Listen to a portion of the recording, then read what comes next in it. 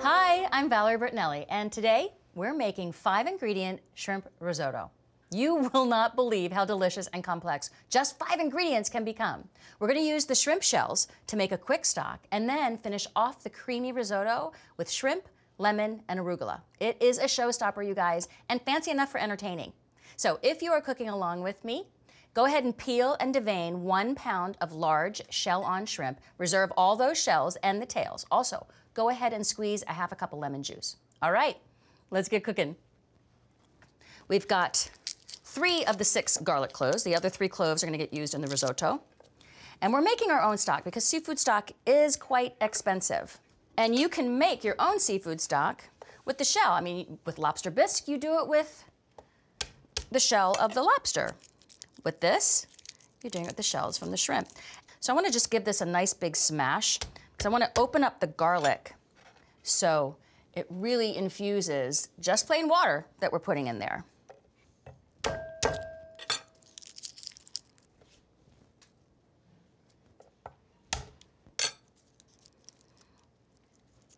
This is the easiest way to get garlic infused into whatever you're making. Just smash it up. It's also the easiest way to peel it by smashing it. Okay. So our garlic cloves are in. Now we need a little bit of salt and pepper. Salt first. So we're gonna do a full teaspoon of salt and half a teaspoon of pepper.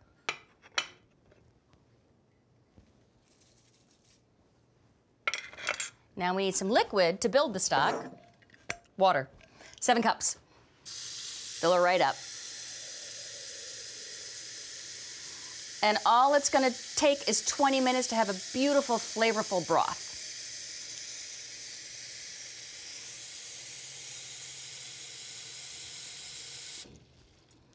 Right in.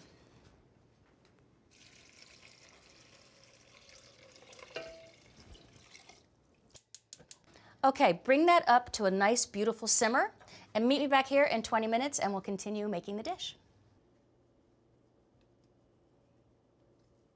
Hi, welcome back. Okay, so your shrimp stock should be looking really beautiful by now. Reduced down about two cups or a cup, actually. We'll see how much. Nice pink shell. So we're gonna now strain that. Get a big strainer, put it over the same bowl that you poured your water in with.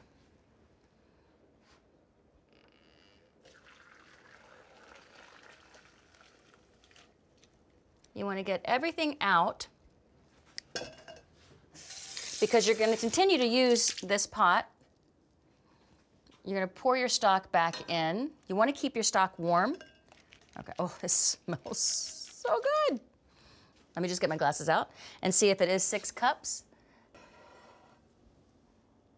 It actually does need a touch of water because we want six cups to build the risotto.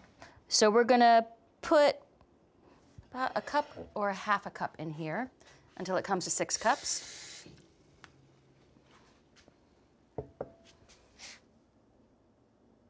A little bit more. It really reduced down nicely. That's good, lots of flavor. Let's get it back on the heat.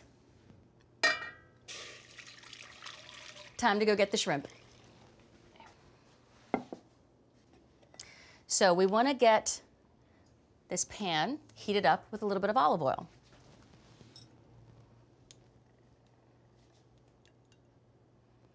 Let's get the heat on. We're going to saute the shrimp. So while this heats up, let's chop the shrimp up into little bite-sized pieces. Depending on how big the shrimp is, you can go half. That's a nice size. Or if you want to go in thirds, you can also go in thirds. It's really up to you. What is bite size to you? Remember, when the shrimp cooks, it will shrink up just a tiny bit. This is a bigger one, so I'm gonna cut it into thirds.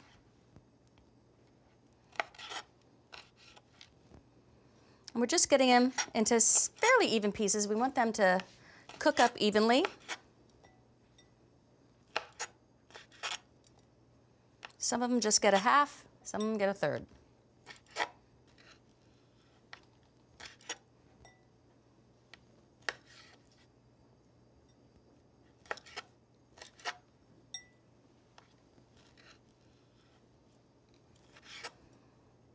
So what we're gonna do is we're going to saute the shrimp until it gets pink and take it out just right before it's done because you don't want overdone shrimp. It's so beautiful and so tender when it's just perfectly cooked. And once you overcook it, it tends to not be so tender and lovely. So we're gonna take it out a little bit before it's done because then it's gonna continue to cook as it waits in the plate for me to build, or for us to build the risotto. I'll show you what I mean. Okay, we're gonna get the shrimp right in here. And then I'm gonna wash my hands. And then I'm gonna get some salt and pepper on there.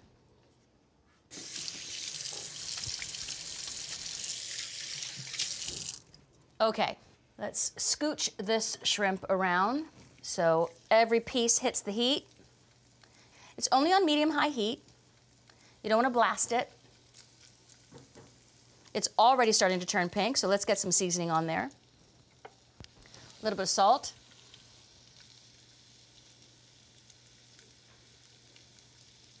And some pep.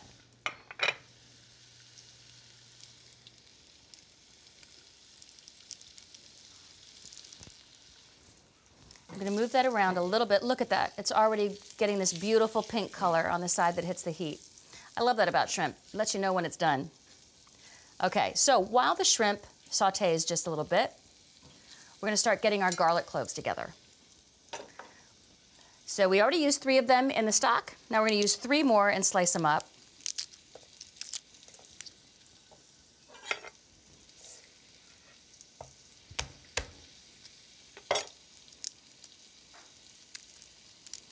Just get that rough root out.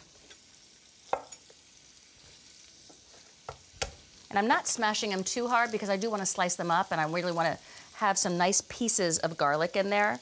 So try not to smash them as roughly as you did for the stock.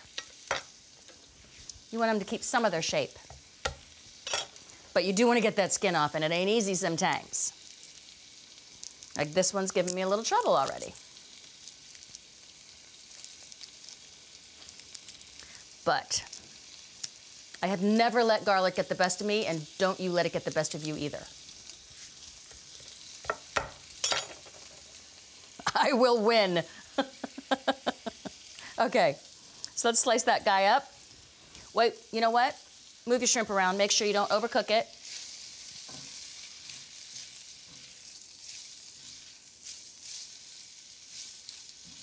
I'm gonna get every side I just love this. It's like you can tell which side is cooked by how pink it is. Move around. There we go.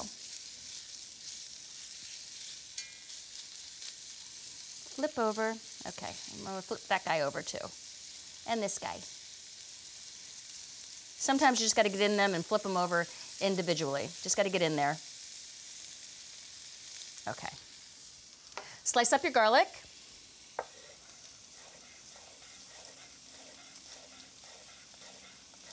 I like leaving nice big slices in there. I really want the texture of the garlic. I want to bite into it. I want all that flavor. It's going to get sauteed in the olive oil, so it's going to taste really good. Really, really, really good. I love garlic sauteed in olive oil. I mean, your whole kitchen smells amazing.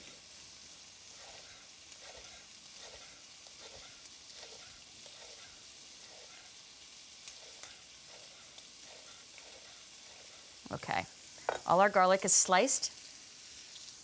Let's give the shrimp another quick turn around the pan. Now I want you to see this. You see how it doesn't quite look like it's cooked through yet? You can really, it shows you the way, what it needs. And just when it starts to get overall all pink, that's when you pull it out. This is almost there. Here's another one that's almost there. Same, but they're getting there. Like this one is done. See how that's all white and beautiful? Most of these guys are done. And I have faith that when I pull all of them out, they're gonna be lumped together the rest of them will cook all the way through. And then they're going to go into the hot risotto, so that will finish it off. Let's get the shrimp out.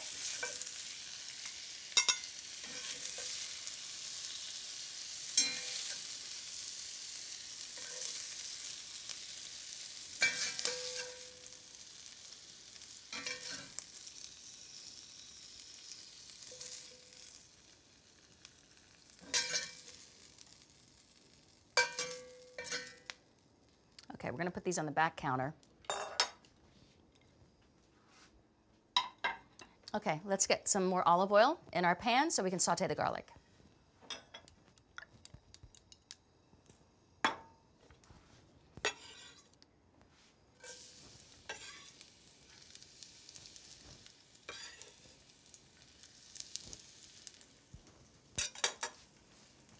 Okay.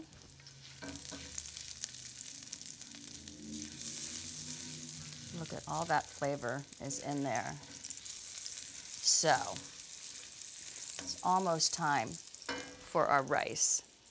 Let's get this to a little bit of a lower heat. Oh, it smells so good in here. Garlic sauteing in olive oil. I mean,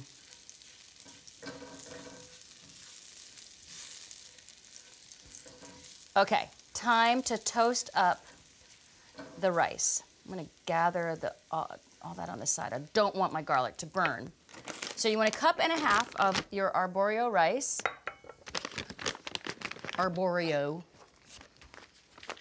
And the nice thing about arborio rice is as you mix it around, and because um, you know usually you don't stir rice, you just put it into a pot with some water or some chicken stock or whatever flavor you want in there, and then you let it do its thing. Now with arborio, it's got nice, it's got all this starch, so when you really turn it uh, with some, when you really like mix it with, with liquid, it really releases all that great starch and that's what gives you creamy risotto.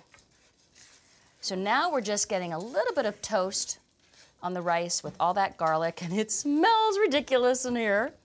I'm sure you guys are enjoying the aroma in your own home if you're cooking along with me.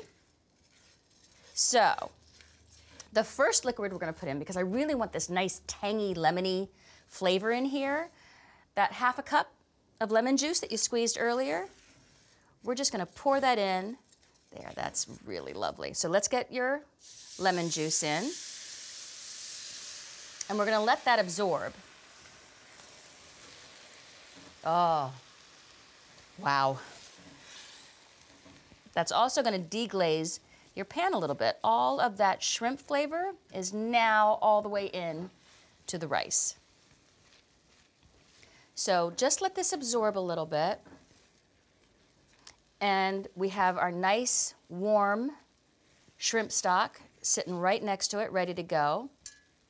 So we're gonna grab a ladle. I just wanna make sure all of the liquid has been absorbed, all that lemon juice. Yep. Okay. It's time to start ladling. So we're just gonna put a ladle or two in at a time, and you're gonna wait for that to absorb into the rice. And then when it has, then you add a little bit more. So this is a little bit of a process. We'll go through a few of the, the ladles, and then we'll just stop down and you guys can do your thing and I'll do my thing until we have about a cup left.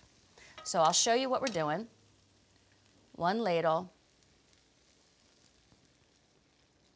And this is why you want to keep your stock warm because you don't want it to cool down all this cooking process that's happening with your risotto. You don't want to wait for the liquid to heat up. It's going to immediately continue to cook your risotto. So now we just want this liquid to get fully absorbed. So we're just gonna stir it a little bit. And as you stir it, like I said, the arborio rice, it releases all that starch. So that's, gonna, that's what's gonna make this nice and creamy.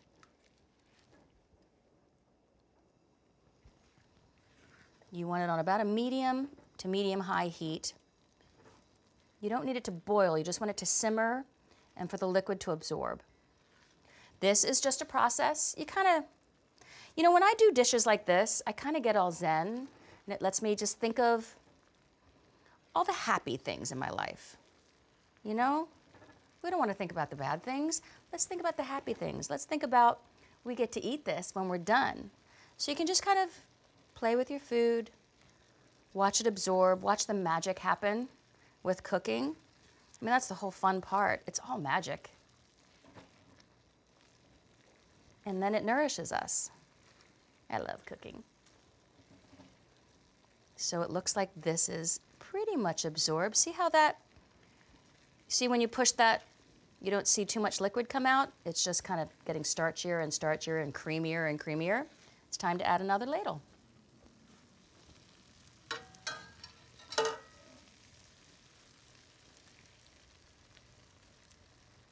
Let's add another one.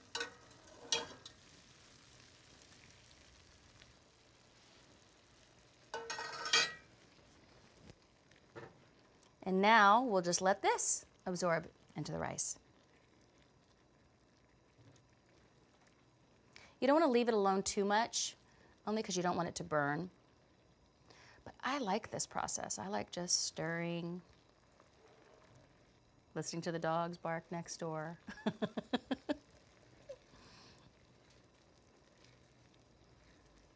it's kind of zen. Cooking doesn't have to be stressful. It really doesn't. You can make it fun. I mean, yes, I know it can be stressful trying to get dinner on the table for four kids or however many kids you have. I mean, that's what my mom did, four kids. But you know what? It can also be really fun to watch the process and to be a part of it. See how it looks different? It's getting thicker. Even the liquid is getting thicker. You can see that. Trust the process. I think that's a good saying for life. Trust the process. Okay, it's almost time for another ladle. So I'm going to continue to do this. And you're going to continue to do that at home, the same thing. And when you get to about a cup left of your stock, come on back and we'll finish doing it together. Okay? Press pause.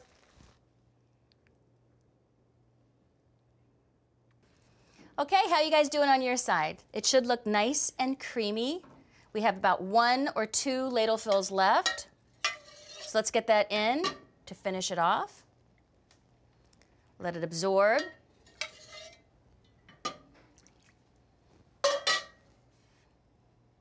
Okay, while this absorbs, we are going to zest a lemon because I want to really pump up that lemon flavor in here and zest up the lemon. Just do it right, right here. Again, when you zest, I know I seem like a broken record because I'm always saying, don't get the pith because it is so bitter. And you really, the beautiful, lovely, oily outer skin is what gives you all that great flavor. So, so you just want to enjoy all that flavor without it being bitter. Okay, almost done.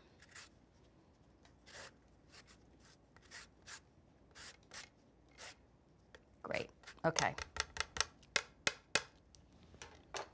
And I have a little bit of arugula here, and that's gonna really pump up the pepper flavor too. And also give you some fresh greens in there, and they're gonna wilt just a little bit in the risotto, and it really adds a great texture, a great flavor.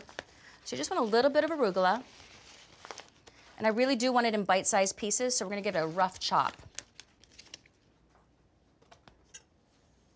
Let's see how this is doing. Give it another stir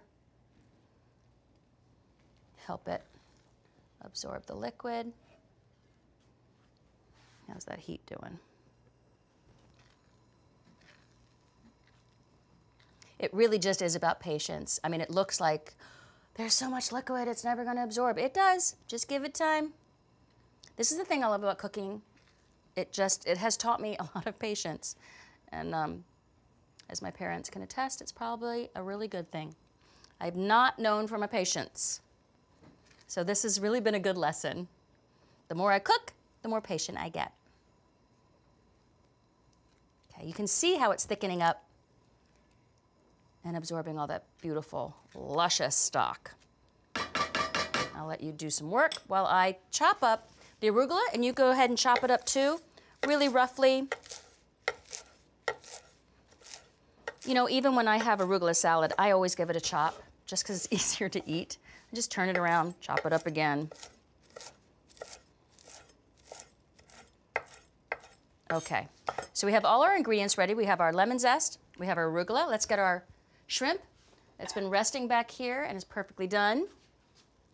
I'm gonna take a look at the risotto again. Just needs a little bit more time to gather up and absorb. It's almost there, so, so, so close.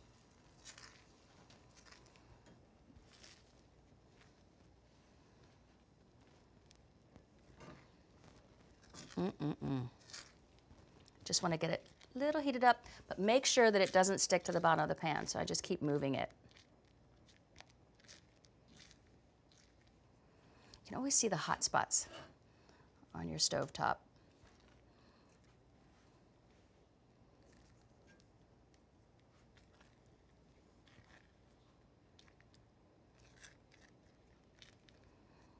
Just let it go. We just need a little bit more time. Not much. Oh boy, you can really smell the garlic and the lemon.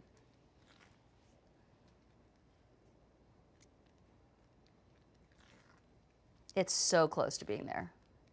You can kind of see when when you push it through the pan as it comes back. We want it to come back just a little bit slower than that. Coming back a little bit too, too fast.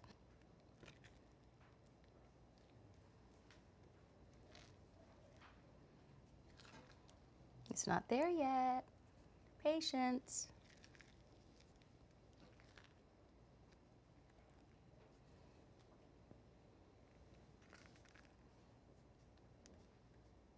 And you really don't want to turn the heat up because you don't want to burn it. You really just have to let it, see how it's like bubbling and simmering right there? See the little bubbles? You just want to make sure it doesn't do that too long because you don't want it to burn and brown right under that. So wherever you see the bubbles, just give it a quick little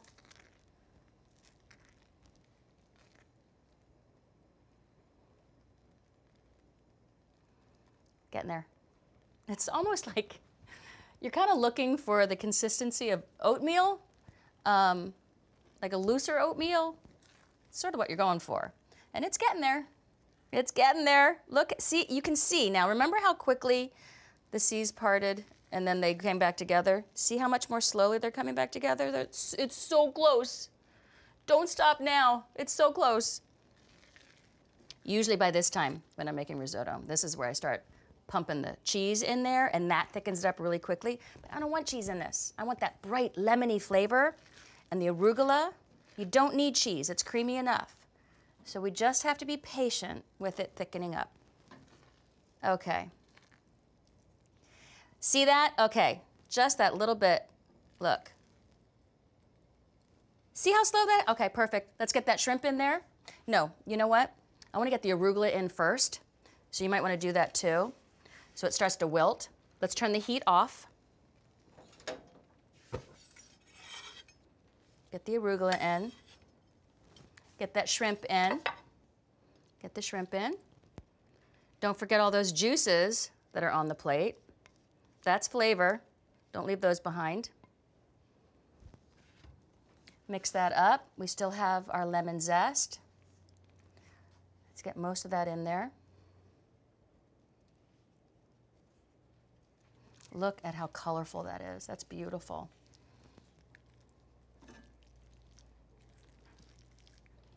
Oh boy. Yes. This smells amazing. And it's beautifully thick, just how I want it. That patience paid off. Okay, let's plate it up. Hmm. I think I will use this, actually, this ladle. Look at that. Mm -mm -mm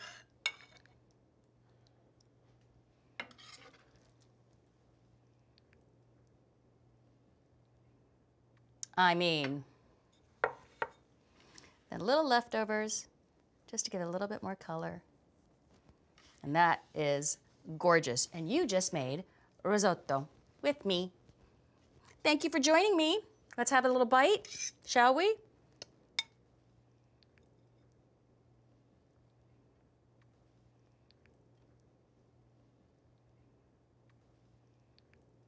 I mean,